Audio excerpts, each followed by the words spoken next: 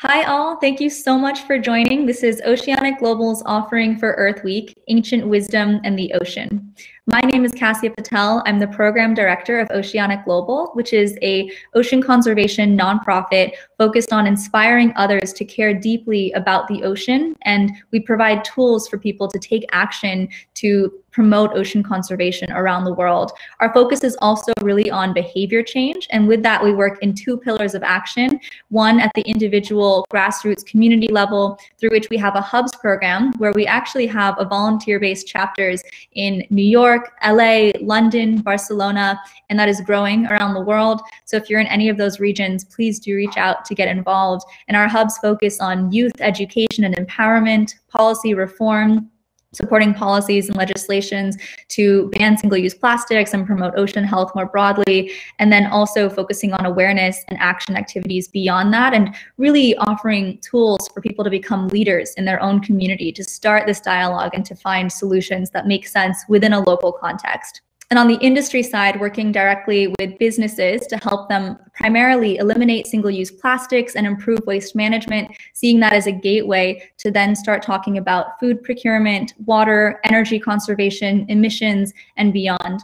And throughout everything, really focusing on awareness and engagement, bringing new audiences into the conversation about ocean conservation. And with that, our focus for Earth Week this year is to of course, talk about the ocean within the context of our broader planetary system. As Sylvia Earle says, with no, no blue, no green. If we don't have a functioning and healthy ocean, we don't have a functioning and healthy planet. The two are so interconnected, land and sea, and that's something that we fundamentally believe and, and view.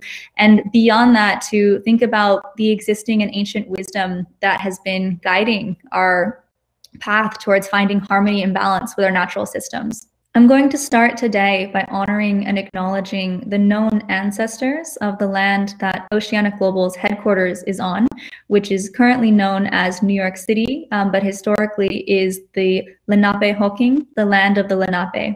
And we are currently working with First Peoples in the region to better understand the history of the land and to form a long-term and living understanding of that history and acknowledgement and respect of the land with our work in the future. And we absolutely encourage others to investigate the history of the land that you're on, to understand the history of the stewardship of those that have come before and of those that are still actually on this land as well, as well as to work with First Peoples in your community in that dialogue and in that journey. Uh, which is one that we're very excited to be on, thinking of this as a very long-term relationship building for the future. I also want to take a moment now to give thanks to our partner Aspiration, which is a new kind of financial partner that puts people and planet first. Aspiration does not invest in fossil fuels and plants a tree for every customer's purchase. They're also using ocean plastic to create their new card, and they offer 10% cash back for a socially conscious purchase. All of this is aligned with Oceanic Global ethos and values, and we really encourage you to explore and check out their work. If you register for an account via aspirations.com backslash oceans, that will actually contribute $25 in donation to Oceanic Global, which will cover the production costs and speaker honorariums for this very event. Today, we will be hearing from community leaders and storytellers from around the world and fostering dialogue on the theme Ancient Wisdom and the Ocean. For Earth Week this year, we thought it was important to recognize and honor the role that traditional, indigenous, and local knowledge plays in ocean conservation and beyond. While there are many exciting technological innovations in research methodologies and scientific innovation and discovery, we know that these approaches will be all the more powerful when informed by this ancient wisdom from elders and communities who have stewarded the land and sea for generations. There are existing stories of hope, of what it looks like to achieve balance with our natural surroundings, and to recognize that we are a part of nature and not separate. There are existing tools, and we'll be hearing about many of these from our speakers throughout the day, tools, and resources that can help inform the work we are doing and to emulate these approaches in communities around the world. Fundamentally, for all who have experienced climate grief or eco anxiety, from what we're hearing today, we'll learn that we have all of the tools and all of the knowledge that we need here within us right now to address environmental issues, to address socioeconomic issues, to address racism, to address fear.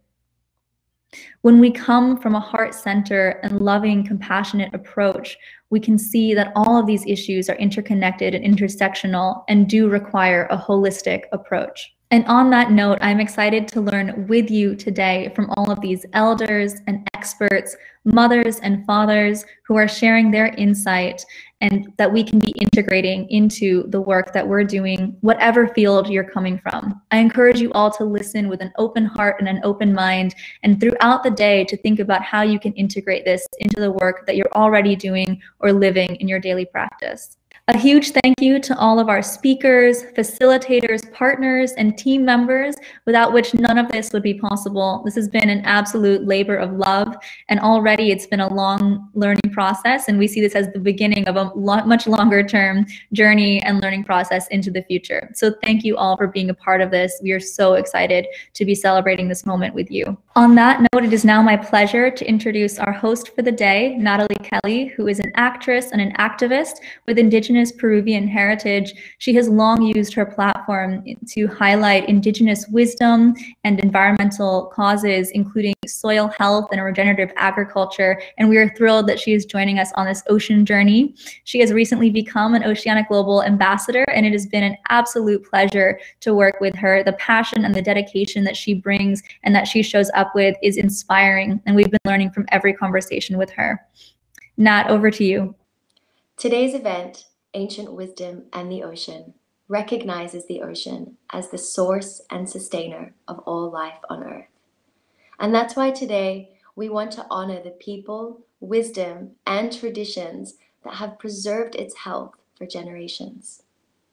The programming today will focus on the role of traditional, indigenous, and local knowledge in ocean conservation and the importance of incorporating that knowledge hand in hand with conventional science so that we can find long term solutions for a truly sustainable future. Throughout the day, we will be hosting four discussion circles around the key themes of protecting our marine areas, fisheries, climate resiliency, and oceanic biodiversity. So, a little bit about the flow for today. We're going to kick the day off with a series of keynotes from storytellers and community leaders from around the world, with some moments of ceremony and performance mixed in. Then afterwards, we'll break out into discussion circles, where we'll have the chance to hear from and speak with some of our keynote speakers and additional subject matter experts on the topics of biodiversity, climate resiliency, fisheries, and protecting marine areas. The discussion circles will be live conversations co-facilitated by representatives from Oceanic Global and today's partners. Then afterwards, we will regroup after the discussion circles to hear key insights from our facilitators before heading into our final performance and closing remarks. As we talk about ancient wisdom in the ocean, we wanted to start the day by grounding ourselves in a celebration of and recognition of the element of water. You know, water is the first element that we as humans come into contact with in the womb of our mothers as amniotic fluid. And we are actually 70% water, which is the same amount of the earth that is covered in water as well. So there is an intimate connection here with this element that is often overlooked, which is why we wanted to take this moment to really celebrate the role of water in our lives. Yandi nanti biskungwi za kinokwani ebare emi umana kanasa nande kwabani. Ebe nande winto kwa chikaintana nabi ebe nibse ni kanisi bare ema nibizakuna nuga nibitakuna nuga. Naikar chowon ka chokwa chonaka gunigeri amasai azmezare kinkai imina azad naknokin emtina nibizrumak nibitin nanan anqmasai yakwa batazan kajakwazan nibikani kujaname ibari emi nan nabin habet ni bi zaidi? Ni bi do mangwasi? Anzat si sangwasi jibo de nekane kinan nandi ni bi kin kan za san ni bingwasi bin nei kane nan e mi zakse en zade zinu geka an chungo kuma ngware asa bi zani be kab janan bi kabat janan andi aibame zan ni bi saide ni bi ni bi tak an kizana zan de makore bar e bedi nakin ko ko zan hukumin ya zan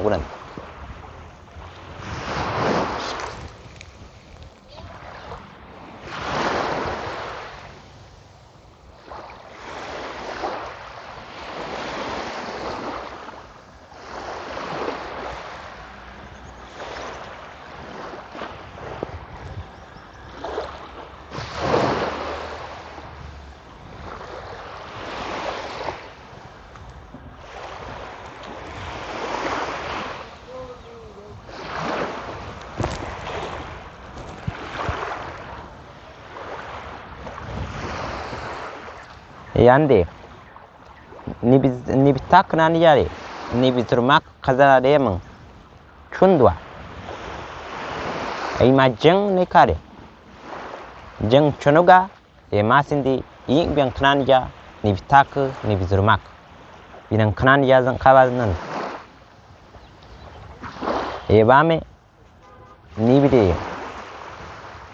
Aking zanardan ai paridi an za sarpa 인파리 tane kande kuri kuri kan? Yo siri kan?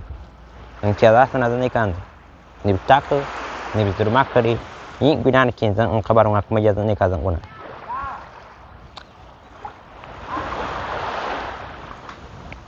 ngai de akin zan.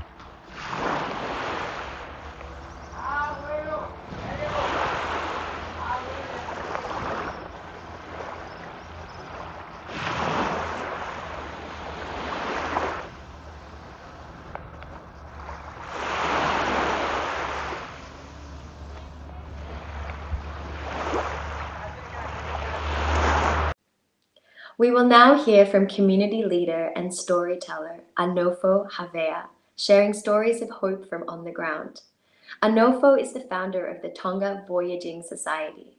She is a pioneer as the first female licensed captain in Tonga and Polynesia.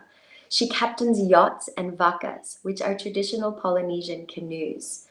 She's been bringing traditional navigation and voyaging back to her community while at the same time empowering other women to take on such leadership positions. She's building an ecotourism whale watching movement to work in harmony with aquatic ecosystems and to protect marine life.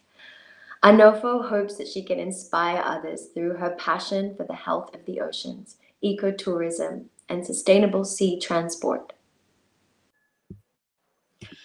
Malolele, everyone. My name is Aunofo uh, Havea and I am from um, uh, the beautiful island of uh, Vava'u, uh, Kingdom of Tonga, South Pacific. And I am um, a mother of uh, five kids. Um, been working on the oceans um, more than 26 years. And I have a lot of passions about our oceans and our heritage and culture as well, uh, traditional navigations. Also, I'm uh, the president of uh, Tonga Voyaging Society in Tonga and uh, working along uh, together with the youth and community community here in in Tonga, and uh, as well a captain and, and voyagers. Ancient wisdom and oceans. In the beginning, there was oceans. This is how most stories of origin start in in the Pacific. Where they talk about the ocean, we talk about how much she is like a mother to us.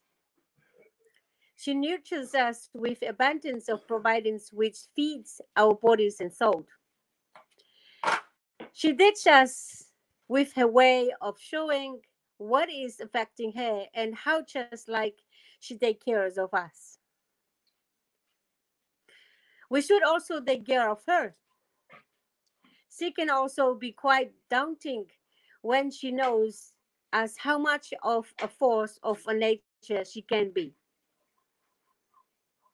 By being a catalyst of cyclones, by holding just a vast vastness, by sharing such power of what can be utilized in renewable energy and sustainability and breath life into us. With all the ocean provides for us in this earth, it is only right that we take up the role of being guardians, a good steward of the oceans.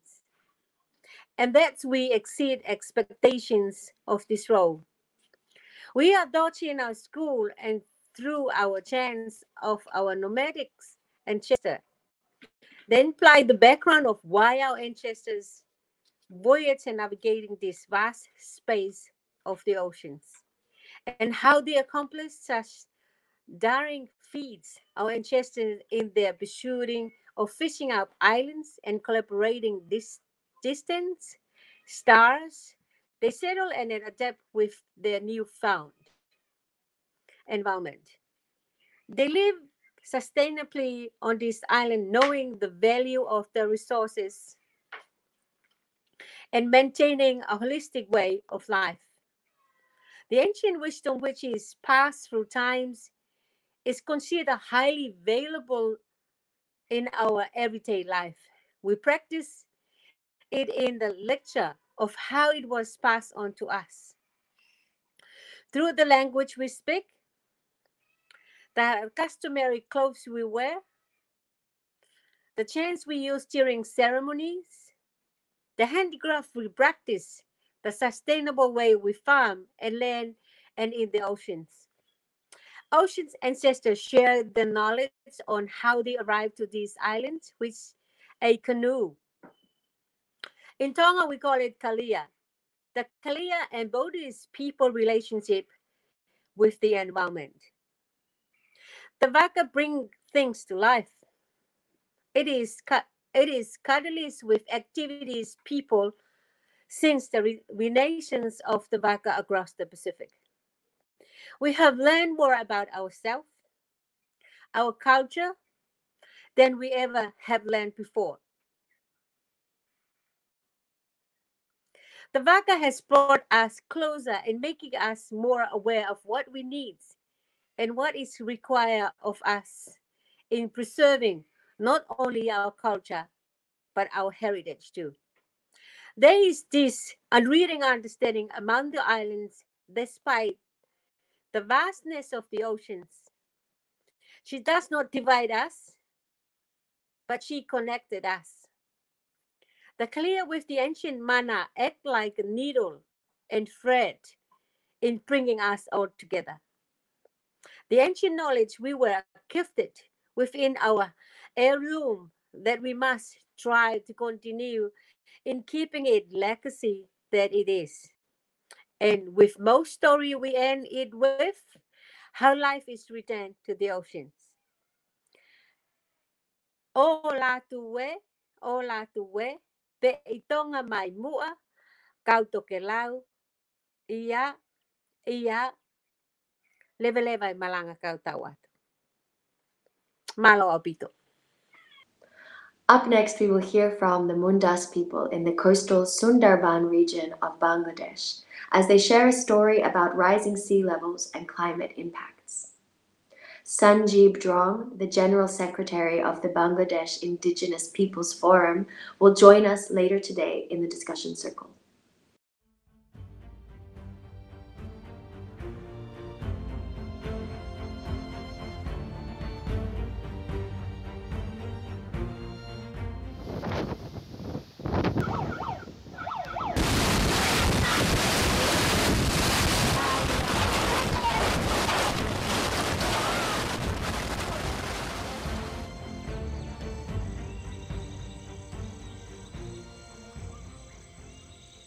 রূপালি রানী মুন্ডা, আমার বাপ দাদা আমার দুশো বছর আগে আলাই হ্যাঁ।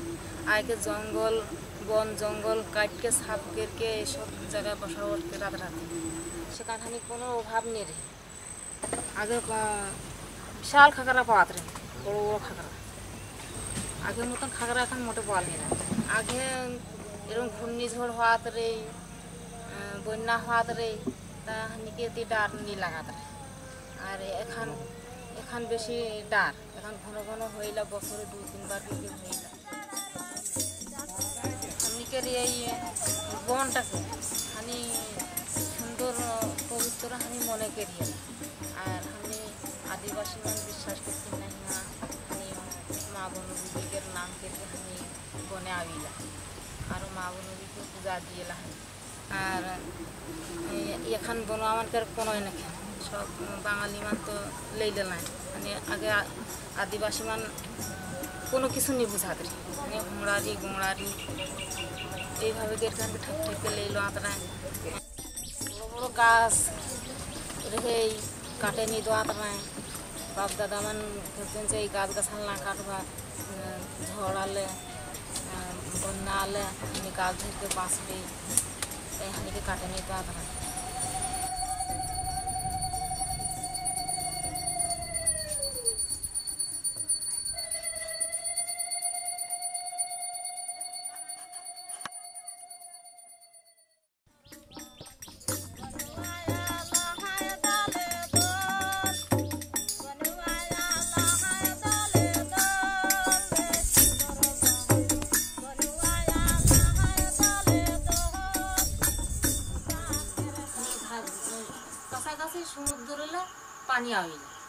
পানি আইকে পাড়াপাড়ি হইল হইকে আবার গে ভারে সমুদ্রের পানি আবার গে ভারে আর যেখানে ঝড় টড় হইলা পানি টানি আইলা খুব জোরে আগে সেই সময় পানি বৃদ্ধি হয় পানি বৃদ্ধি হলে রাস্তায় পড়লে ছাপাইকে হানিয়ে ধার দিকে Bangladesh government has recognized 50 indigenous communities. Among them, the Mundas are the most vulnerable and marginalized.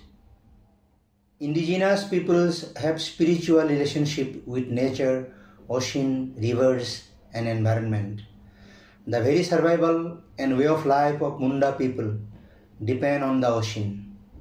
The Sundarban mangrove forest and the ocean must be protected, clean and safe. Government should adopt a special policy for the ocean and indigenous peoples in Bangladesh. It is now my absolute pleasure to introduce my friend and personal hero, Alaska's Dune Lankard, an Eyak Athabaskan native of the Eagle Clan. Dune has founded and co founded several key organizations, including the Eyak Preservation Council and Native Conservancy. His tireless strategies have helped win the preservation of more than 1 million acres of wild salmon habitat in the Exxon Valdez spill zone. Dune has received wide recognition for his leadership, including as one of Time magazine's top 50 heroes for the planet, Prime Movers Award, and fellowships with the Ashoka Foundation and Future of Fish. Dune is now venturing into kelp farming in the Prince William Sound for restoration, growing traditional food sources, and for building regenerative economies and resiliency for our ocean and coastal communities. His talk is titled Kelp and Coal. It will be in the discussion circle later today of climate resiliency. Dune will be sharing more about his work to build community and to drive action for climate resiliency. Uh, my name is Dune Lankard. I'm an Eyak Athabaskan Indian from the Copper River Delta in Prince William Sound in Alaska. And my Eyak name is Jamutsuki. Uh, that means little bird that screams really loud and won't shut up. And I was given that name shortly after the Exxon Valdez oil spill happened in my backyard. Um, otherwise, no one would probably know my name right now. Um, my uh, clan is the Eagle Clan. Uh, we have the Eagles and the Ravens, and at one time we had uh, the Wolf and the Bear clans, much like the Tlingit Athabascan people. Uh, we originally had come out of the interior of Alaska uh, 3,500 years ago and came across the glaciers down to the coastline in the Gulf of Alaska. And we landed in this place uh, called Yakutat, which one of the Eyak uh, names um, for Yakutat or meanings is uh, where the canoes rest or the lagoon behind the sea. And uh, there we encountered uh, other uh, warring tribes, the Chugach Eskimos and the Aleut, and the Tlingit came to our rescue in exchange for uh, helping our Eyak people because we are both of Athabascan descent. Uh, we had to give up our women. And so, in exchange um, for protection, uh, we have had to give up some powerful, amazing Eyak women. And we got tired of that. So, we fled across the Delta 300 miles to what is now known as Cordova, uh, where we live now. And we figured we'd start camping there till it quit raining. And that was 3,500 years ago. And that's who I am. The, um, the world that we're in right now uh, is a time of uh, a global pandemic, of uh, climate change beyond belief, and civil unrest. And what happens when moments like that happen in time, our leaders seem to lose their wisdom and make decisions that aren't in the best interest of the planet or the people. And so, much like when the Exxon Valdez oil spill happened in our backyard, uh, everyone uh, lost their minds. They they lost their wisdom. Uh, they wanted to develop everything they possibly could in order for us to continue to survive. At the time that um, the prices of salmon were plummeting, the values of our fishing permits plummeted, the values of our boats uh, went down. Uh, people were struggling socially. Uh, there was uh, drug and alcohol abuse. There was divorces. There was fishing partnerships breaking apart that were together for 15, 20, 25 years or more. Uh, there was a lot of duress. And this was at the time that Exxon was telling us that, you know, we're Exxon, we do it right. We're going to make you whole again. In the meantime, they had um, actually appealed the verdict that we won in 1994 uh, of $5 billion. They appealed that 17 times until they got the Supremes of their dreams to take the case not to set a precedent or to make sure that justice was served, but to make sure that just us was server, served. And what that meant for us was that we are on our own. And so all these development projects started happening. Uh, we took on, we, our Eyak Preservation Council took on 37 major environmental battles. And thank God we won 35 of those. We filed dozens of lawsuits, did everything we possibly could to keep our place wild and roadless and pristine.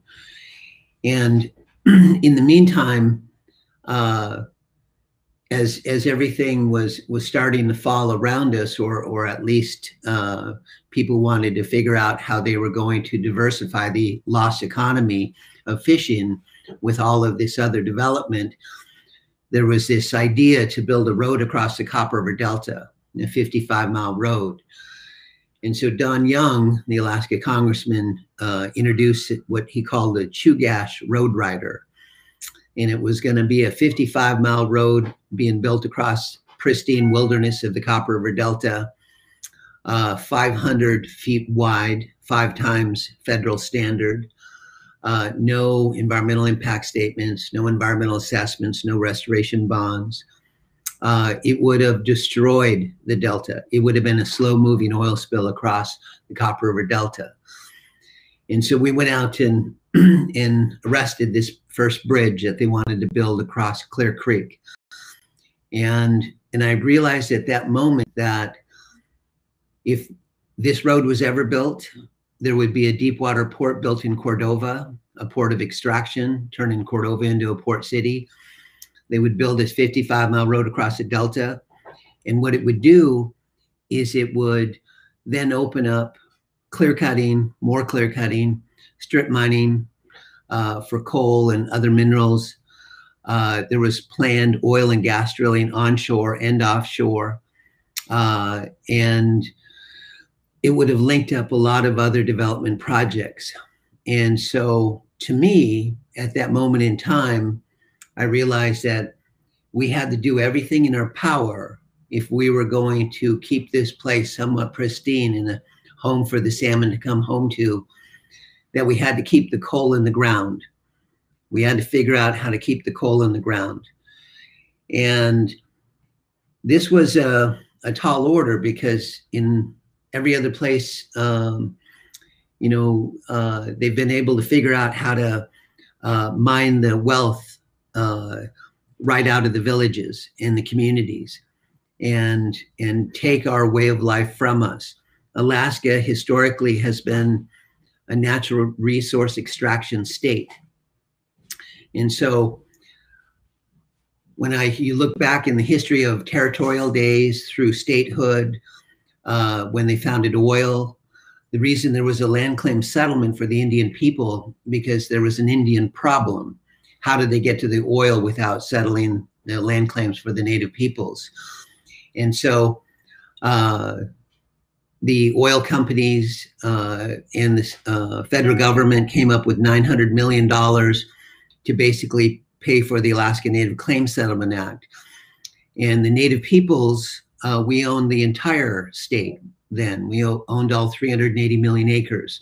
At the end of the day, we ended up only preserving 11% in native ownership. So 44 million acres was retained out of 380 million. So our lives have always been under attack. We've always uh, had to adjust to politics and, and destruction around us. And so I just decided after the oil spill that I'd had enough that it was the day to me that the ocean had died, but yet something inside of me came to life. And I realized that I needed to be louder than everything else, but yet remain a voice of reason so people would listen. And so I said, let's take on all the powers that be, bring them on. The uh, most of the restoration uh, since the oil spill uh, has been in the form of, of preserving equivalent habitat uh, to the best of our abilities. And what I mean by that is there was no way, once the oil hit the water, the war was over. We lost. There was no way to clean it up. Uh, you know, the number one uh, response to oil spills today is dispersants. Dump it on the oil, sink it into the water column, get it out of the public view, uh, and call it good and get ready for lawsuits. Um, the best thing and the only thing that we could have done was to try and save as much equivalent pristine habitat so the 27 most heavily impacted species had somewhere to call home and somewhere to recover. And that was, uh, you know, saving uh, over a million acres of habitat in the spill zone that was scheduled to be clear cut. And then uh, about 400 million was spent on science that basically showed that oil and water don't mix. And I felt like, you know, if we're going to have any chance of, of restoration, that we had to do a number of things. We had to stave off the development um, in the, the enclave of, of developers that wanted to clear cut, strip mine, oil drill, uh, you know, build ports. Uh, right now in the Copper River Delta, we're still facing the road across the Delta. There's still plans of mining the Bering River coal field. the military, through the Air Force and the Navy, are still bombing the Gulf of Alaska in their training programs. This year, they start May 3rd to May 14th. Our Copper River fishery opens on May 18th.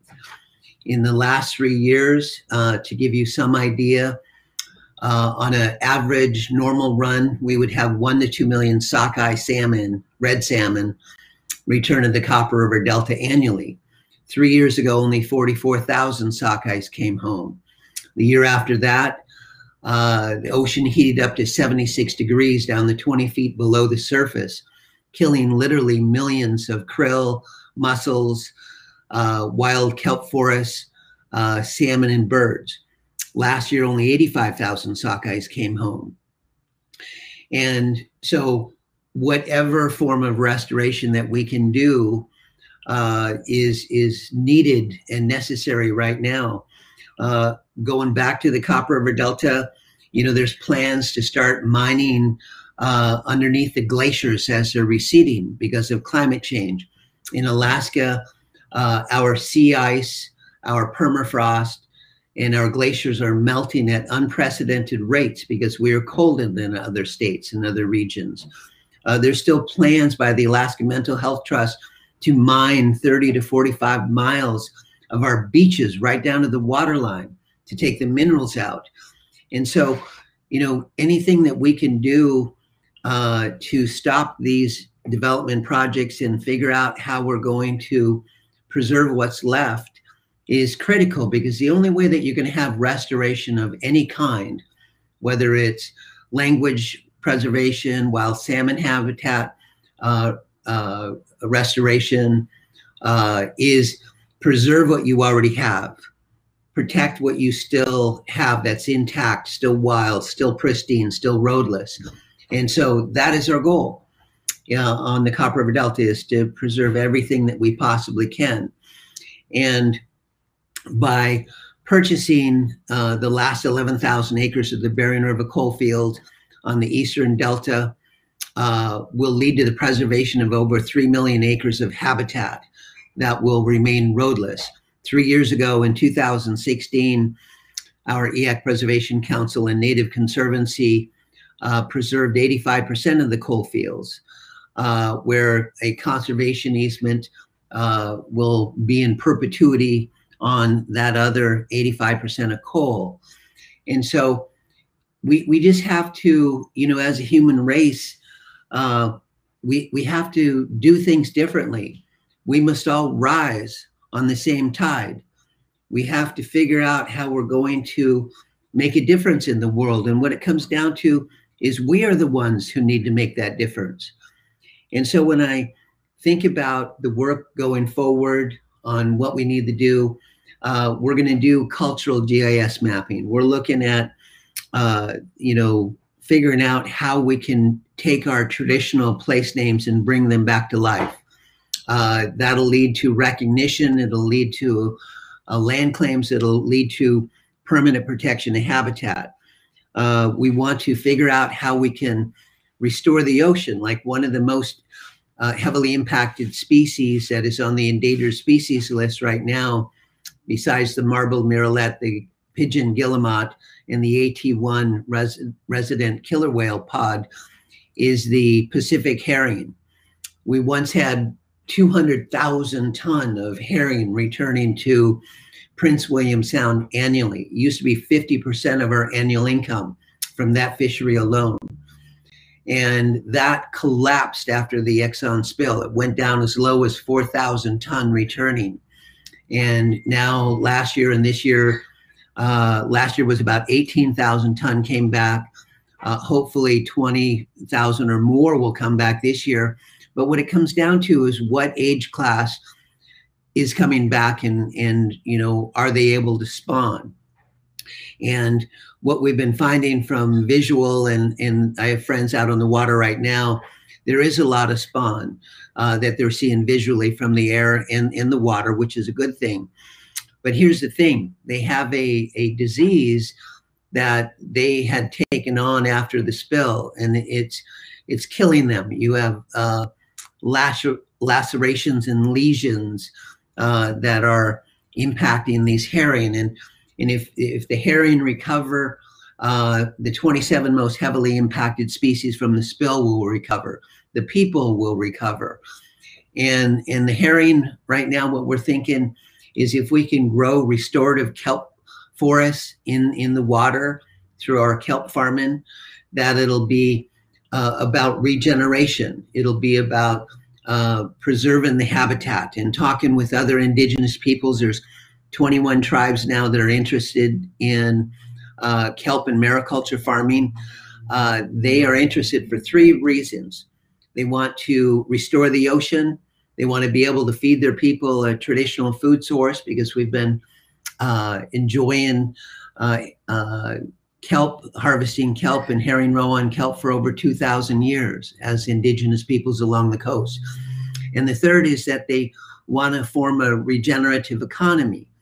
And what's wonderful about that is a dear friend of ours from Alaska Conservation Foundation, uh, Michael Barber, said, What you're doing here, doing is you're starting a regenerative economy based on conservation, restoration, and mitigation, not extraction.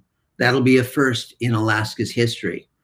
And so I feel like we're on the right track. We just have to figure out how to keep the coal in the ground and get more kelp in the water. One of the things uh, about kelp that people need to understand is kelp can sequester carbon five to 20 times more than actual living terrestrial forests. And bivalves, uh, which are mariculture, uh, which is um, you know mussels, clams, scallops, oysters, they can filter upwards of 40 to 60 gallons each per day. And this is a, a resource as a commercial fisherman. I fished my whole life. And when I go out to sea, I'm actually, uh, I have to think like a fish. I have to figure out how I'm going to, uh, you know, be able to chase this fish around and, and chase it down and, and figure out how to catch it. Where with kelp, uh, you don't have to feed it, you don't have to water it, you don't have to fertilize it. Uh, you don't have to chase it around. Uh, you just grow it. And if you're able to grow it in volume, uh, then you'll be able to, um, you know, figure out how to uh, get more carbon sequestration. And and here's the thing: we need to come up with community-driven solutions that actually create green jobs. In our case, blue jobs uh, and and figure out how we're going to uh, start a new relationship with our traditional food sources. And what I mean by that is is that you know most people, especially in cities, uh, like right now, I'm I'm here in San Francisco, uh, you know, doing some fundraising and working with our ED, uh, our our excuse me, our vice president, uh, Evelyn, and I subsist in the grocery stores. You know, you you have a different way of life here in America, where in Alaska we're still able to live from the land and the sea. And because of climate change, because of what's happening to our lands and oceans, uh, we're going to have to figure out how we're going to be able to grow our own food sources, whether it's on the land or in the ocean. Uh, we need to figure out how we're going to process our own food. Uh, we're going to have to figure out how to value add those resources and, and be able to sell those products direct. And I remember about 15 years ago, I was reading this one article about the future of the internet and future of, of uh, the world. And, and it, at one point, this one uh, person said something to the effect of, well, you know, the people who are going to survive in this new world order because it, we're going to have less are the ones who network, who have social networks. Uh, you know, we're going to have to be able to have our own uh, pods and, and, and groups that we huddle with that we're able to network with and share food and stories and energy and and and be able to direct energy time money and love whatever direction that we need to but it has to be with a network of people. And so I realized, you know, I needed to uh, figure out how Facebook worked and figure out how to get on LinkedIn. You know, I, I figured I, I had to uh, figure this out, how I was going to be able to communicate with people. Because for us right now, uh, it really comes down to uh, creating food sovereignty and food security programs that are based on being regenerative. Because if it's not regenerative, just don't do it. We need to uh, figure out how we're going to uh, grow a food source that can help take care of our people and, and take care of our planet. And so I'm really excited about kelp um, and, and mariculture because I feel like uh, with ocean acidification, uh, with the blob, which is the warming of the ocean, like we had a couple years ago, uh, and with ocean rise. There's 31 villages that have to be relocated in Alaska right now today. There's 125 villages behind them that are going to have to be relocated. And so, uh, you know, we have to, you know, figure this out real quickly.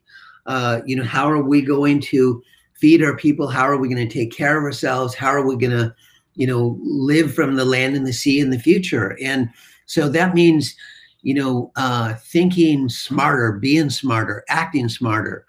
Uh, and it could be as simple as uh, you get better long-term loans to build homes that are on stilts or uh, that are on barges. You know, so when the incoming tide comes in, you're able to float away to higher ground. Or if you're going to build houses, you know, on wheels, you can just hook it up to a, a truck and drive it to higher ground. And so uh, then what happens is you get better interest rates because you're building smart buildings. You're building, you know, getting ready for climate change and and these uh, catastrophes that are going to happen over and over. And and here's the thing: collectively, we have the intelligence. We're smart enough to figure this out. Uh, but you know, when we build resiliency, uh, like for example, the uh, my people in Prince William Sound, in 1964 on Good Friday, uh, March 27th, uh, we had the 9.4 uh, Good Friday earthquake that rocked our world and rocked our fisheries, and and and it took 25 years for those fish to start coming back, for us to start making a, a better living in the sea again. And then on the 25th anniversary of the Good Friday quake, we had the Exxon Valdez oil spill happen in the same region in our backyard in Prince William Sound. So again, our world was rocked. Again, our way of life changed. But then the after 25 years, the ocean started recovering, the fisheries started coming back, our crustaceans made a recovery, our king crab were coming back, our our uh, spotted shrimp, uh, our our Dungeness, our tanner crab uh, started to rebound. And then 25 years later, we have climate change. So, you know, we have to evolve, we have to adapt, we have to be resilient, but we also have to be smarter and and we're capable. But do we have the courage to do it now? That's the question. When i first started out uh, saving habitat and uh, you know we we can't uh, believe that we know everything and we can't uh, you know rely on our current leaders because they clearly have lost their wisdom on so many levels. And so I realized that I was going into this space of conservation, of habitat restoration, uh, of being a, an activist. And so uh, I didn't quite know how to do that. You know, I found one book at the time, The Monkey Wrench Gang, uh, you know, about uh, direct action uh, there weren't a lot of books out there that that could help people like me that wanted to defend my homelands from all the powers that be, including you know our own people, native corporations that wanted to clear cut the parallel path of the Exxon Valdez. And so I went down to Eyak Lake and uh, it was uh, in September. It was uh, uh, cold. It was uh, foggy. It was drizzly. It was raining that evening. And uh, I went down because I knew the next day I was going to go and speak to the highest levels of ocean government, the Exxon Valdez Oilspill Trustee Council, and give my first presentation. And so I decided to go down uh, to the lake and, and talk to my ancestors. And I got down there and uh, it was starting to rain harder and, and I was getting more frustrated because I needed to see some sign. I needed to understand, uh, am I on the right path? Am I doing the right thing? Do I have the wisdom and the courage to step up and be heard? And after about an hour of venting, high in the sky, the clouds started to part. And as the clouds st- started to part, I saw Eyak Mountain, this pyramid in the background, the silhouette of it. And I was like, okay, this is getting better. And then uh, the northern lights, this beautiful chartreuse green, started dancing behind the uh, Mountain, and and and I realized that it was just transcending. And then the green from the northern lights filled this cloud, this circle, and it was a green halo in the sky. And to me, I was asking, I was just venting just right before that. I need to see a green arrow in the sky. I need to know that I'm on the right path and I need to see it now. And so then, as this halo filled up with this chartreuse translucent green, it shot down to the water and it came across in shimmers across to me. And I was like, oh my God, this is stunning. And at that time, silver salmon started jumping five, six, seven at a time right in front of me. And, and I was watching these ripples in the water and the splash, and I could hear them and then all of a sudden, an eagle flew over the top of my head and shrieked. And I felt the hairs on the back of my neck stand up. And I looked up into the sky and I said, Now that I have your attention. And I went off for another hour. And I said, This is the deal. I don't know what I'm doing. I don't know where I'm going. And I don't know what I'm going to say.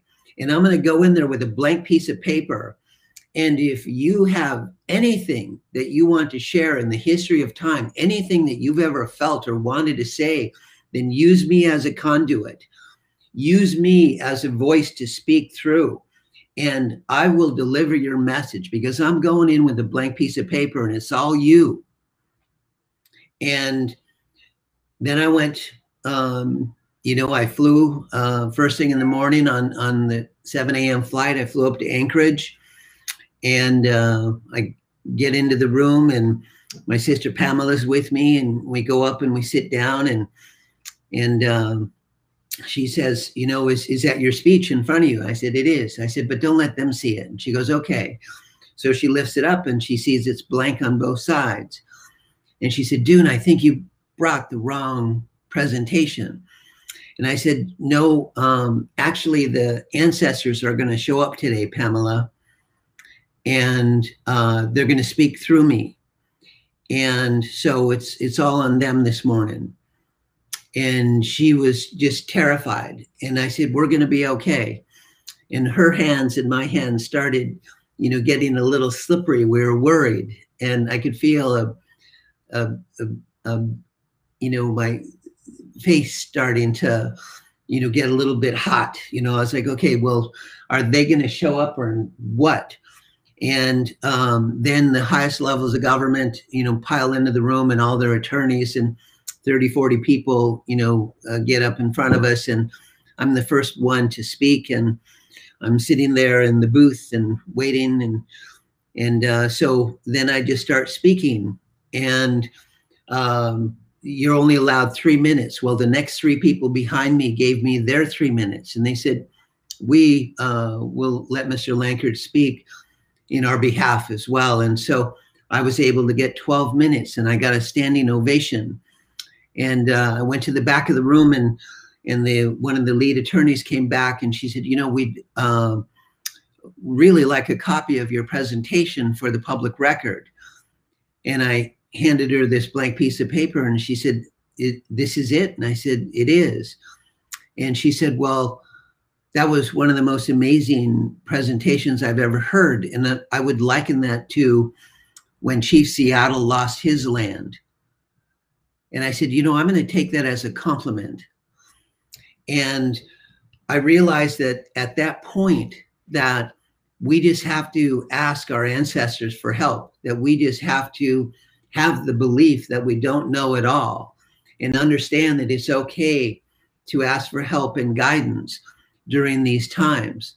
And the ancestors will come to us. They will share their knowledge. They will share their words and their history. And Pamela, when we ended that meeting, she said, Dune, there was standing room only for the thousand plus Eyaks uh, that were ever uh, living on the Copper River Delta. All thousand of them were in this room today, standing room only, cheering you on.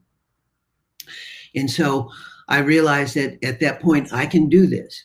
You know, I just I just have to uh, believe uh, that when we ask, our our prayers will be answered, and so we have to be the ones who imagine the world that we want to live in and visualize that, and then manifest it, because it really does come down to us because we're the best we got and we have to go forward and we have to move quickly and we have to show up. We have to take action. I think that uh, if we can, you know, find the courage to uh, say the right prayers, and uh, and everybody has their way. Uh, you know, for me, I, I write them down and and then I have a burning ceremony and I, I get my uh, my dreams and my prayers and my vision out there into the universe. And then uh, as individuals, we have to then prepare. And what I mean by that is, is number one, we have to believe that uh, we deserve help that we deserve for our prayers to come true and that we're worthy. So, so we, we have to believe in our vision and our mission. Um, and then the second thing that you have to do is you have to prepare to receive that dream or that prayer. Uh, because when it's answered, uh, that's when the work begins. Um, because uh, when when I think about um, you know my life and my work and and uh, uh, inspiring others to take action is that uh, you know I remember who I am. I remember where I am. Uh, I remember what I have to do, and it usually starts with what I have in my hand. And in my hand, I usually have these Copper River stones. Uh, everywhere I go, uh, we've rafted the Copper River, you know, probably 75 times or more. And there are some of the most magical sacred stones uh, anywhere on the planet. And so I gather them and I give them away to different people in my networks. And, um, but I always have one in my pocket. So when I get scared or I get nervous or I wonder, you know, like, what am I going to say? And who's going to listen and uh, i'll have this uh, stone uh, in my pocket and i'll grab it and then i'll remember exactly who i am and where i'm from and what i have to say what i need to share what you need to hear and you know and it's like when i think about uh, you know the future and how we're going to feed ourselves uh, we're not going to be able to eat money and so people are going to have to figure out how they're going to grow their food sources. And I remember um, a dear friend, Dr. Elizabeth Hoover, uh, when I had gone to hear her speak several years ago, and she's helping on our food sovereignty program and getting the kelp in the water. She said to me that she'd written this article, and it was titled something like, How Can You Call Yourself Sovereign? If you can't feed yourself. And I was like, oh my God, you know, this is absolutely true is is we are going to have to figure out how to feed ourselves.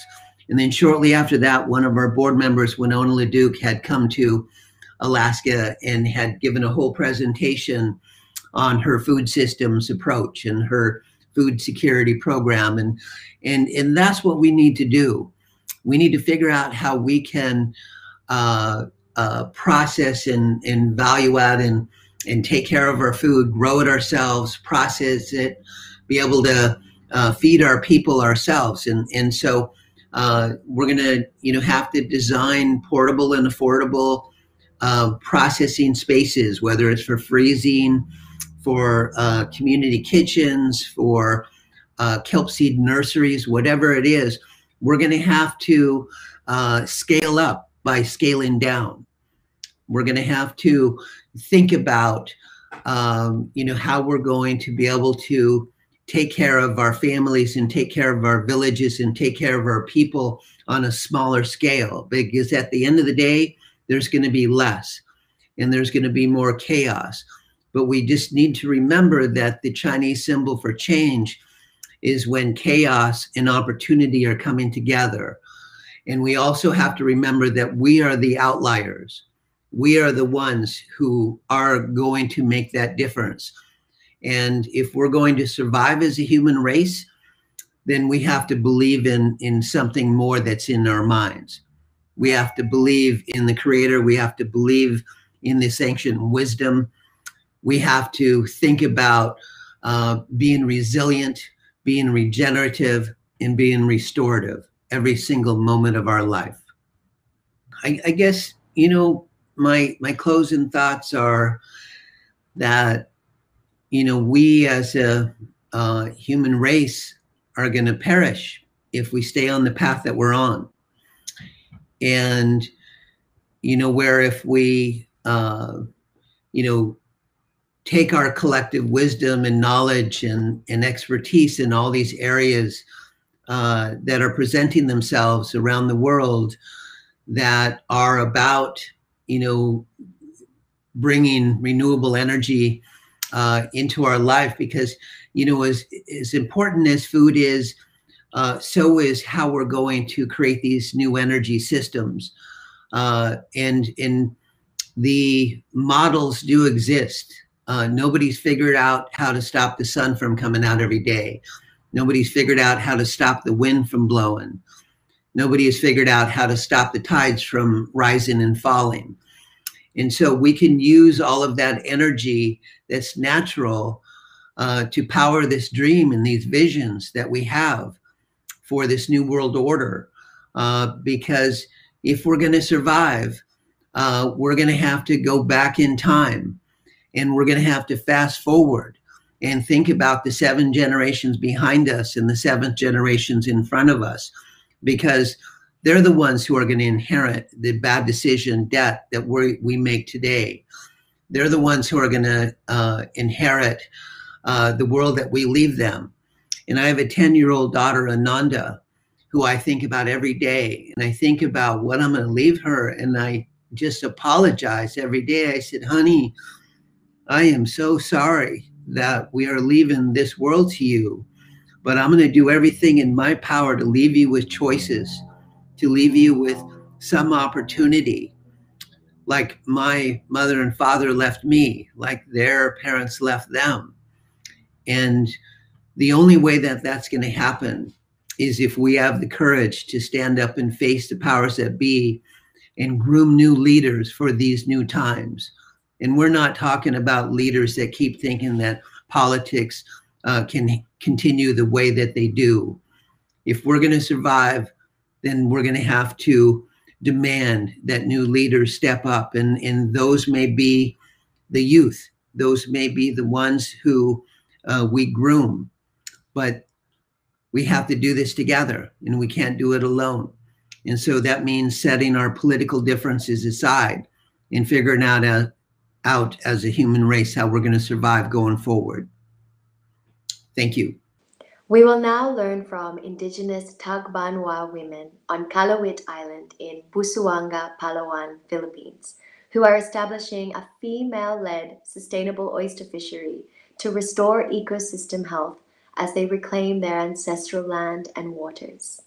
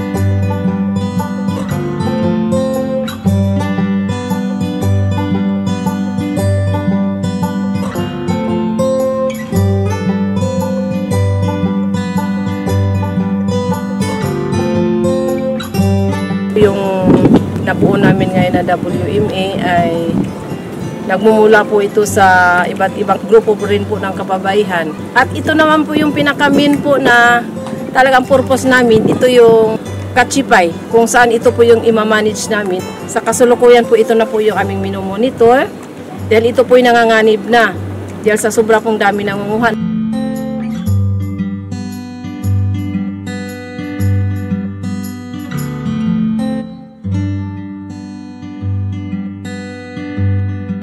Unang-una po nabigyan kami ng ah, dalawang makina upang gagamitin sa pagpanahi po ng mask. So ito po yung panimula naming negosyo upang uh, masustinahan namin ang pangangailangan po namin at sa aming pamilya. Kumita rin po ang asosasyon ng umabot po ng 28,000. Nagkakaroon po rin kami ng community savings.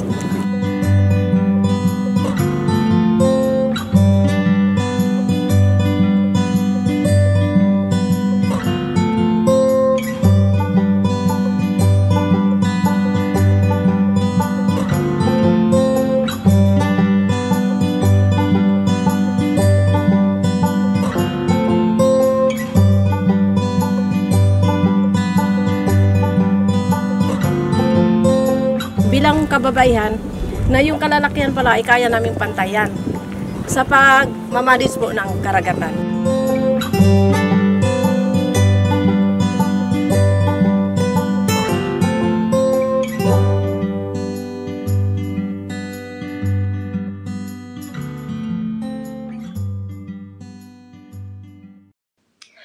Our next speaker will be Emily Cadiz. Emily is the program director of Hui Maka'ainana o Makana, a community organization formed by descendants of Ha'ena on the island of Kauai in Hawaii. They take a place centered approach that weaves together the identity and culture of native Hawaiian communities to sustainably manage their nearshore fisheries. Their mission is dedicated to perpetuating and teaching the skills, knowledge, and practices of their kupuna, or ancestors, through the interpretation, restoration, care, and protection of the natural and cultural resources that are located within the Ha'ena State Park. The group's sustainable marine management is complemented by a mosaic of other initiatives, supporting the conservation and sustainable use of agricultural areas, sacred sites, and the entire watershed in the face of climate change. Aloha kakou. My name is Emily Cadiz. I am from the island of Oahu um, in Hawaii, but currently living on the island of Kauai, where I am currently the program director for Hui Maka'ainana o Makana. Hui Maka'ainana o Makana, nonprofit established in 1999 um, by ch- families from that area who came together to restore their traditional lo'i. So within the island of Kauai, we are on the northwestern side um, in the district or what we call Moku of Halelea. In the smaller um, land division, Ahupua'a or watershed of Ha'ena.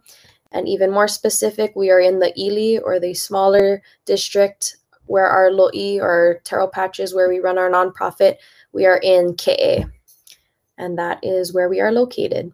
So our nonprofit currently um, it's about 15 acres that we are in a cure. It's called a curatorship agreement with the state of Hawaii. Um, our our Lo'i, our area that we caretake, is within um, the Ha'ena State Park, and um, as I mentioned earlier, the nonprofit that's got, that we started or the family started over 20 years ago. Um, the goal was to restore the lo'i or taro patches that their families used to farm. And has a very unique history of land tenure, land transformation over time. Um, one that I wish I could get into, but would encourage you all to check out one of our books that one of our community members wrote about our organization, and I will post that information later. Um, that can give you more information about um, the really unique, like I said, the really unique story of how uh, community came together to um, to restore the land that they all farmed, their families farmed generations ago. Um, so within that nonprofit that was started over 20 years ago, the family started to clear the overgrowth that has happened over years of of um, the state park taking back that area, um, cleared all the hau bush, cleared all the area to find the old lo'i over there. And then um, within that area, once the families restored the taro patches, the family had always envisioned going back to traditional resource management and really looking what we say Mauka to Makai, which is from the mountains to the sea. Um, we have a really interesting um, area within Ha'ena where the co- uh, very unique as well in that the community really has a voice in everything from the mountains to the sea. In our upper watershed, we have Limahuli Gardens, who is a national tropical botanical gardens. They um, manage from the top of the watershed to um, to the lower land of the watershed, and then our organization, um, like I said, has a curatorship agreement with the state where we manage, um, co-manage and farm the taro patches. And then the families not too long ago really wanted to also look into the fisheries. We're the first in the state of Hawaii um, in August of 2015 to be designated as a community-based subsistence fishing area, which basically allows our community to co-manage our nearshore fisheries about from the nearshore to about one mile out of the fisheries within the Ha'ena district where the families um, co-manage that with the state and have created rules and regulations that when anybody comes and fishes in Ha'ena, there are rules that are specific to fishing in Ha'ena due to cultural and traditional practices that still exist within Ha'ena today. The goal of our Ha'ena community-based subsistence fishing area, end quote, was to sustainably support the consumptive needs of the Ha'ena people through culturally rooted community-based management that recognizes and responds to the connection between land and sea and strives to restore the necessary balance of our native species. And that was our proposed management plan for Ha'ena back in 2011.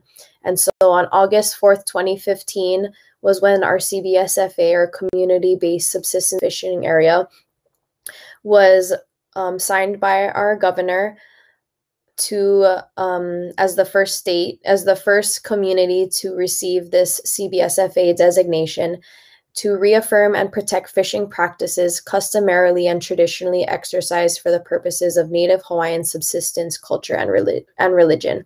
And this is in our um, Hawaii revised statutes. So it's now in law for us. So those are that's kind of what happened in the 2000s to build towards um, getting our community-based subsistence fishing area designation.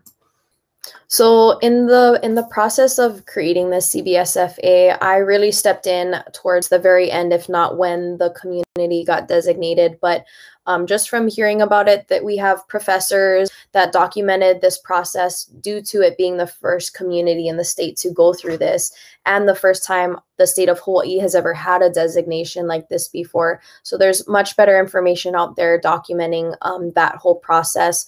Um, just know that it was over 20 years in the making. A um, lot of on the ground work. Um, it, we would have never gotten it without the leadership of our organization who were all doing this within their free time, volunteering. This was not a paid position to have these gatherings we're talking door to door, talking to all the families from down there to get everybody on the same page. Real beautiful in just building community, um, cohesiveness, and capacity. A really unreal process of the people, boots on the ground, the families from down there coming together to create um, the best management that they think that they could create for their place. Um, so yeah, lots of meetings, lots of meetings back and forth with the state, um, negotiating rules, um, coming to the same page. Another big piece of this process that I remember when I say the uncles, these are like the leaders in our community. I call them the uncles. Um, they had to consult with because the ocean is a public resource they had to reach out to all the different stakeholders within the Ha'ena community that utilize the ocean as a resource. So i remember the uncles sharing they had to consult with the scuba operation the scuba diving operations they had to consult with the kite surfers the surfers um, those that use the ocean for recreational purposes and subsistence purposes and commercial purposes. And um, this was not something that I would say per se the community had to do, but definitely a value that our leaders in our community felt was necessary. And as I said, that is why I believe that our organization was so successful in being the first in the state to get this designation, or just successful in general to get this designation, is because they took the time and consideration and that one on one, in person, um, really um, driving this as a collective. And one of my favorite quotes is um, it's an African proverb you can either go fast and go alone, or you can go far and go together. And that is really a motto of our organization, I feel, is that um, there's a lot of groundwork that has to happen all day, every day, with a lot of decisions that are made in Ha'ena some that try to get speed up and and happen faster than we can grasp but something i appreciate about our organization is our organization and our leaders have always remained in the driver's seat for decisions that are made for our place. And um, and they take the time like i said the boots on the ground work to make sure that as they're driving these things everybody's coming along and moving forward together. And it's um, because to us when you move forward together and you look back you want to still make sure everybody's still there. And if you look back and nobody's there anymore is that really successful in community building and in any community um, in any community um, decisions in any community work in general it should be the collective. Um, defining community is a very hard thing. Um, we still navigate what that is um, but that's how we operate is as a community. Um, some little updates about how it's going now um, since 2015, we're obviously for five years since the designation. Um, due to COVID, we've um, had to do a lot of virtual presentations, but um, after getting the designation, um, there's a five year review that happens. And so that was back in 2020, this past year.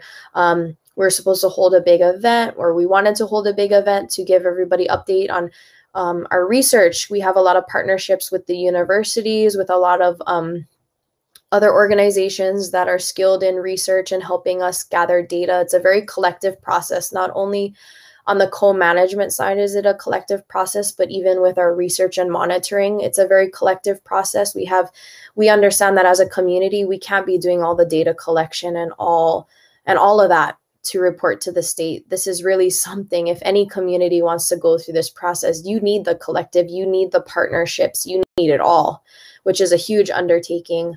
Um, and so we just had a five year review. Um, our biomass has increased in our fisheries. We have a lot of um, results that is on our website that's public information for everybody to look up and know. Um, but yeah, a lot of um, a lot of monitoring results from our fisheries to our limu or our our algae to our urchins. We have a pretty collective, comprehensive report. And then, um, but to me, most importantly, what our organization is tracking is kind of the other really important stuff, which I think is the more important stuff, which is transfer of intergenerational knowledge, um, involving our youth and lineal descendants, um, huge increase in subsistence fishing, both from April 2018, we had the huge floods, which closed off a whole section of the road, and nobody could access that part of the island unless by boat. So we noticed an increase of subsistence fishing. um, with the families down there because of that. Um, even with COVID and people not wanting to go to stores anymore and just trying to stay at home.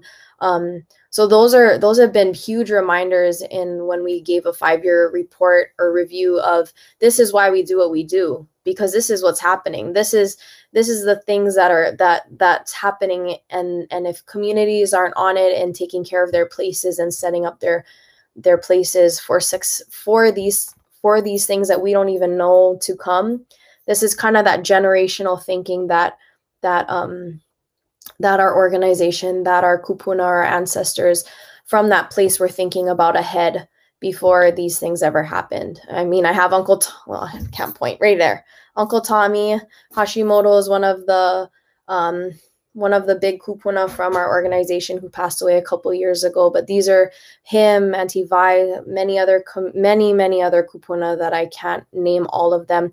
This was their vision to create subsistence and perpetuate subsistence in their community.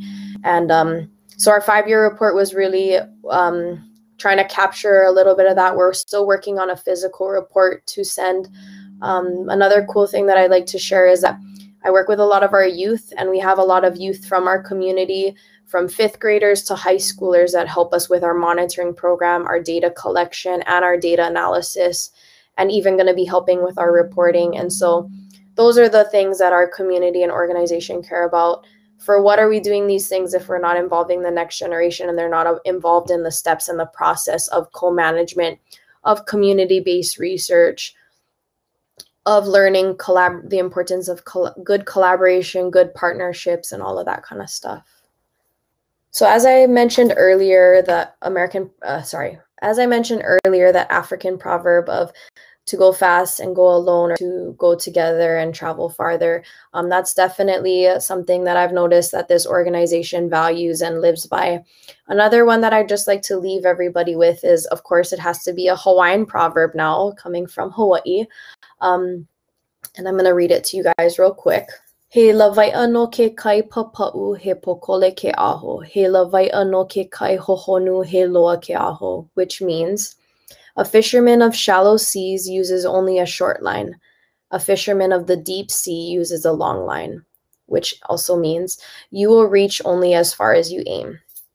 So similar to the African proverb, um, from a fishing perspective, from a fishing community, it's very fitting for us. But you only go as far, um, as far as as far and as deep as you're as you're willing to go. Um, catching things in the shallow versus catching things in the deep, and that has nothing to do with the difference of fishing capabilities. It's just a metaphor for how deep are you willing to go? How deep are you willing to invest? Um, and that is another value and another thing that I've recognized is very important to this organization. Um, if you just, and this would also be my piece of advice for other communities, if you choose to just dive in the shallows, just to grab what what's what you can see, what's at reach, um, and kind of just get things quickly, that's a whole different experience, and you'll get a whole different result than taking the necessary time, preparation, to travel to the deep and to dig down to the deep and to the depths. Um, and that has kind of been a model, I think, in general for our life work. Um, with this organization and with other community organizations, I work, for example, our Nakiloina program, which is all of our education programs and what we teach. Um, something that we're really learning in in not just fisheries in general, but in management in general, is that people only grab and and attach issues in conservation and management to the things that they can just see right away. Like oh there's no more fish in the ocean it's because of overfishing. Oh there's no more this happening this management system is failing oh it's just because of this this and this. And they're just looking at the shallow of what they can see or what and jumping to really quick conclusions about what they think is happening. One of the biggest lessons that we've learned and what we teach is you need to let a place tell you and you need to, you need to let the people of the place tell you um, and you need to listen to the place. Um, so for us with the overfishing and those things it's actually not that. It's a compounding of many things that are happening from fishing to um, the wrong our we don't have the correct management systems in place bag limits and size limits that are not that are not supporting productivity of our fisheries um, we have development issues we have erosion issues we have like i said back to the very beginning that mauka to makai connection. You cannot just jump in look one-sided at, at the issues of what's happening in a fisheries. You need to look at what's happening from the top to the to to the bottom and the bottom to the top and vice versa. Top to bottom bottom to top.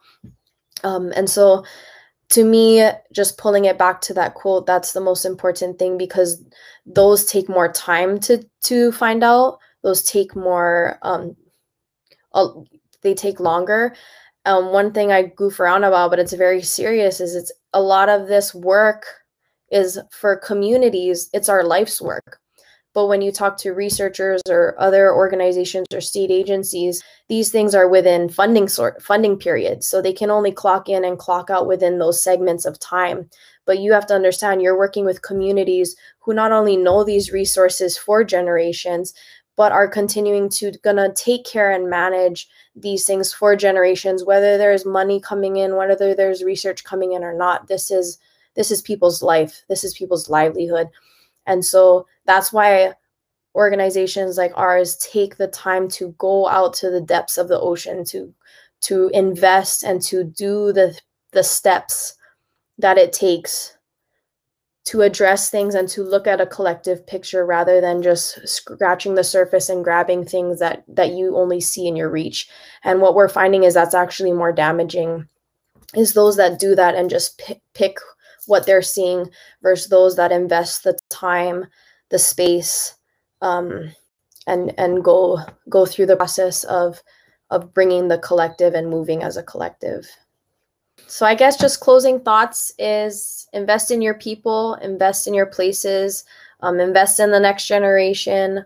Take the time to to go deeper, explore more, reach reach a broader reach. If you guys have any questions or want to know more about our organization, um, you can find you can follow us at Hui Maka'ainana o Makana on our in, we have Instagram, we have a Facebook, and we have a website huimakainanomakana.org. Um, yeah, just more information about us and thank you. Mahalo for listening to a little bit of our story and I hope something you heard today resonates with you or you took away something that um, is either similar or could come back into the work that you do or the life that you live. Mahalo.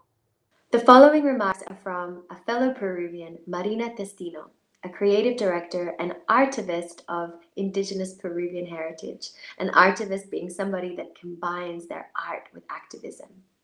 Marina's work drives behavior change and responsible consumption to protect planetary and specifically ocean health. She is active in addressing plastic pollution and advocating for sustainability within the fashion industry, the fashion industry being one of the major global polluters. Hi, my name is Marina Testino, and I've focused my career on merging arts, sustainability, and innovation through creative direction, content creation, um, fashion design, marketing, and artivism. My dad is Peruvian and he's been going to his beach town, Punta Hermosa, all his life. And I've been going going there every year, once or twice a year. And I remember the difference from when I started going till now. Like we would see dolphins every day. We would be able to go to the fish market and have fresh fish see the fishermen coming back from from their day fishing. And recently it's filled with plastic. You we found a penguin the other day. Um, you don't see any uh, dolphins anymore. Um, it's it's so sad to see the change in all these different oceans around the world because we are not treating them, not respecting them, and using them as a huge garbage can. My name means from the sea, and I've always felt very connected to the ocean and lived around the ocean, grew up around it, and I wanted to to give back and, and raise awareness around the problems with plastic pollution. So I started a campaign called We See Through, and it was to um, discover the naked truth around plastic pollution in our oceans. Um, I wanted to tackle how plastic pollution gets into our oceans and what we can do to avoid it.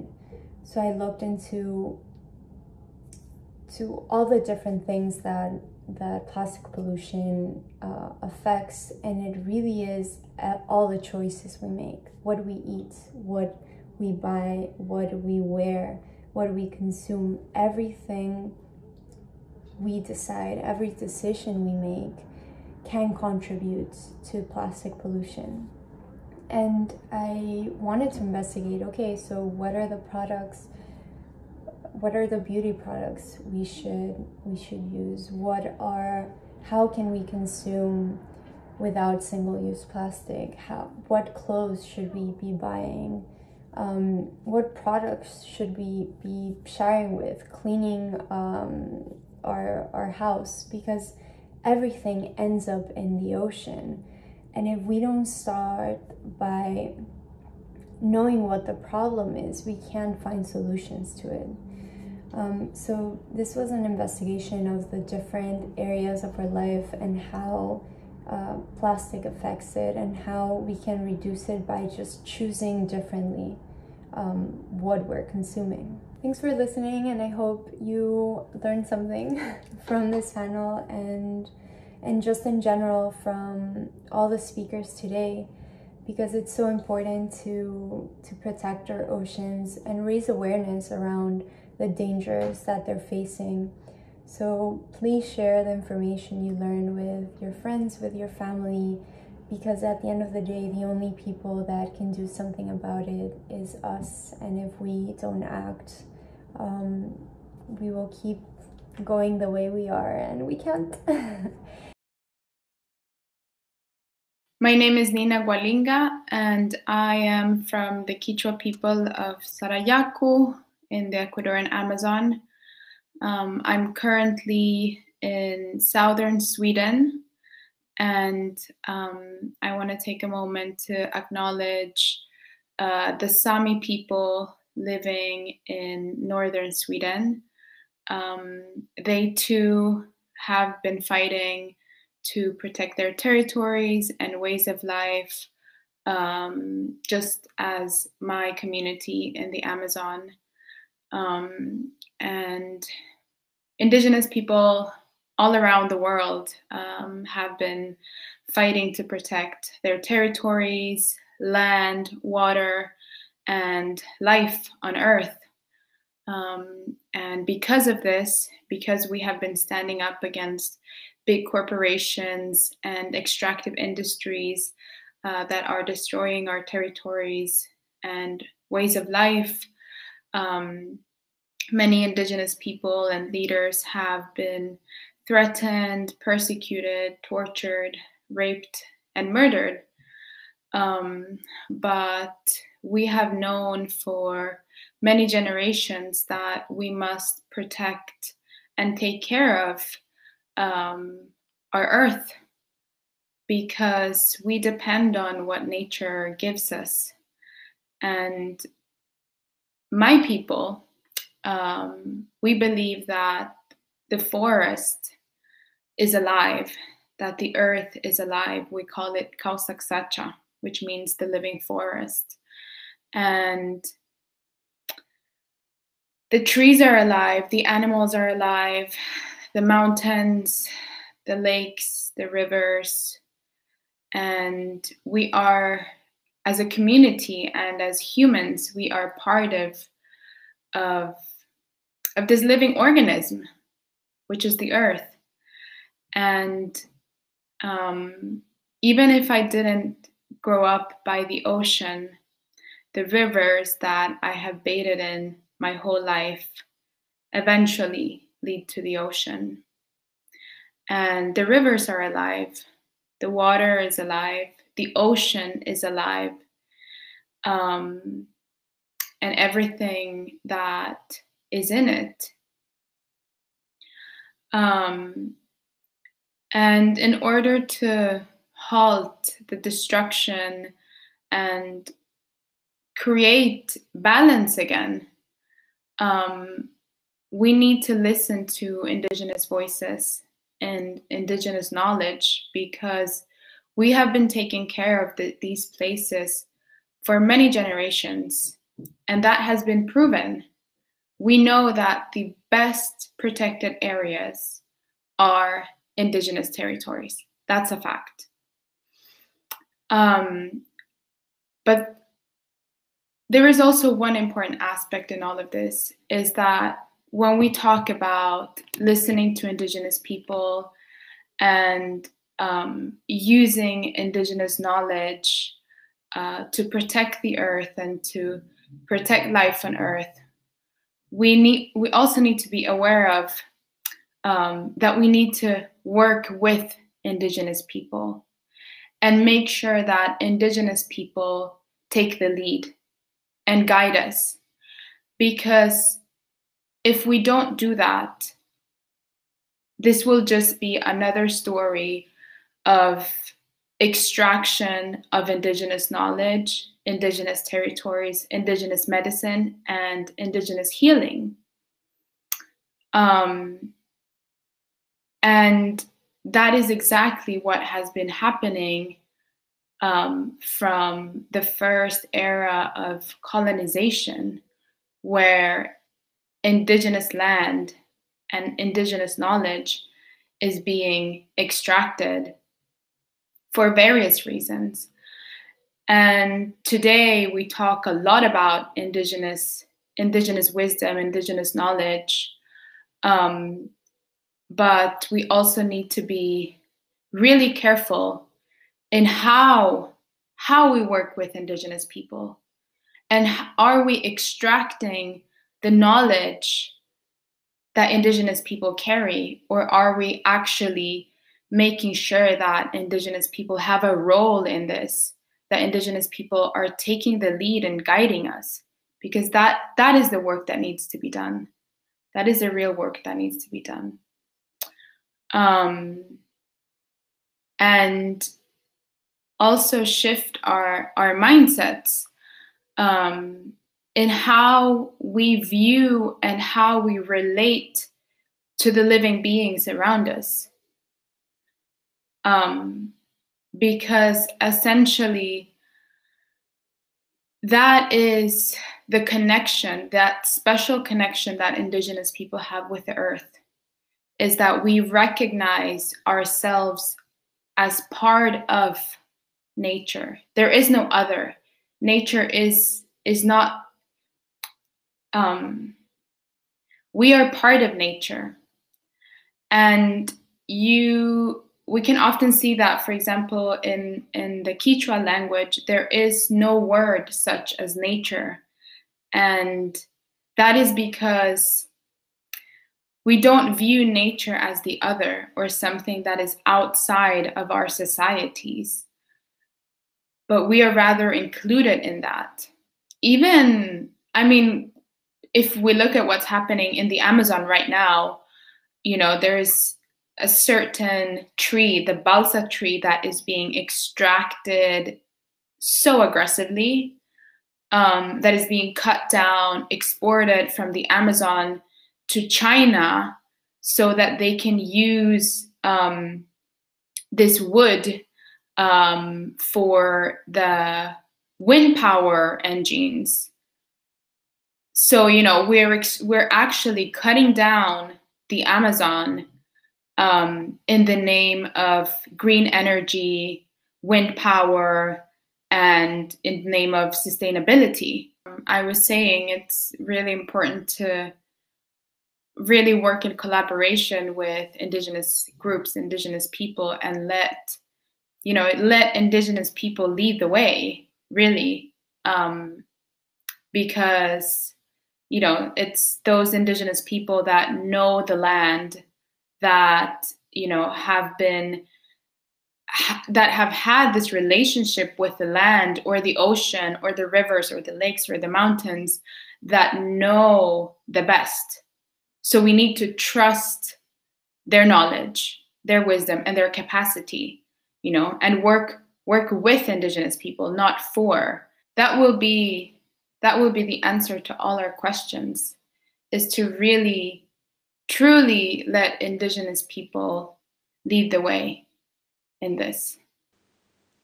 Our next address will be from John Milton, who has led a lifelong career as both an ecologist and spiritual teacher. He will speak on the beauty of finding resonance between those both spheres and recognizing the power of ancient knowledge and wisdom.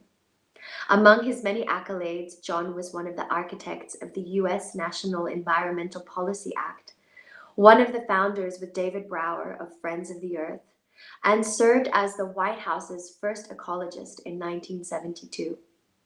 Since the 1980s, John has been a master teacher of meditation, Tai Chi, and Vision Quest retreats.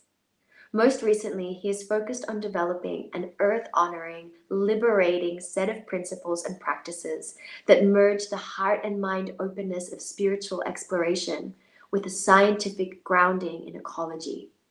His passion is to help shift human spiritual systems towards an environmentally sustainable way of life, creating a new cultural foundation for the West that he refers to as sacred ecology. From this perspective emerges an earth connected spirituality that recognizes all living beings as one's true community. My, uh, my background environmentally was being very much involved in the early 60s with um, realizing that there wasn't, in those days, we just really had a focus on conservation and natural resources you didn't have the word environment being used very widely. And things like regener- regeneration and sustainability were not being used hardly at all. Hard to imagine these days, but uh, when I began working in the early days with a group, a precursor to the World, World Wildlife Fund, um, one of the things I wanted to do is to help provide a basis for helping people see the natural world as a whole system that included, so we had a more um, open view of nature as uh, a full global ecosystem of which we were a dynamic part. So I began asking to go out into nature as a young man, uh, to spend time alone, to really bond deeply and completely with nature experientially. And um, I remember I began trying to do that when I was around four, but uh, my my parents and grandparents uh, wouldn't let me do it th- at that age. so finally, when I reached the age of um, around seven years old, they said, "Okay, it's okay for you to go out alone." And I spent a short time; it was only four or five nights and days, a little less than a week, of deep solitude in nature in a very primordial area in the White Mountains of New Hampshire. And that was really my birthing into the experiential connection of being part of the whole system. So spiritually, I was birthed into this kind of connection through the vision quest process with the help of my grandparents and parents. Uh, my grandparents, especially, had maintained a an indigenous perspective, and uh, that was very helpful to me. Um, I think in helping bring me into this, this vision experience. Then I began to, because of that experience of the whole system as a reality of humans' relationship, true relationship to nature, um, not dominating nature, having dominion over nature, but being a co-equal partner in the dance of life uh, from that, I began to become attracted to things like ecology and the and biology and the sciences of life and whole systems.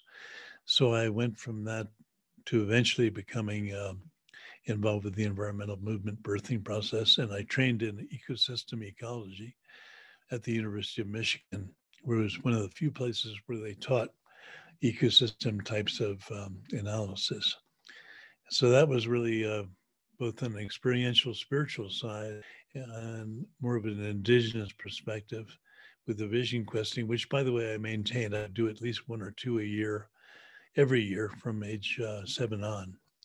And that has continued to support me and deepen my own experience of the deep uh, spiritual truth of connectivity to the rest of life and the family of life. And I noticed that there are really three kinds of nature. The world of outer nature, which had been a great deal of my work and my concern, the world of ecology, the rest of the family of life that we've been talking about, and establishing connections with that and all of the elements as well. But there's also the inner nature aspect, our emotions, our, our feelings, our perceptions, our sensations, and all the basic raw material of our experience of life and our experience of that connection with the outer world. So to help people refine that experience of connection, initially through providing things like experience about tracking, how to meditate in nature, how to take the tools from Taoism and Buddhism and indigenous peoples on how to refine the awareness so that through the senses of sight, sound, taste, smell, touch, balance, and movement, and um, the flow of energy, we could learn how to go deeper and deeper into this experience of connection.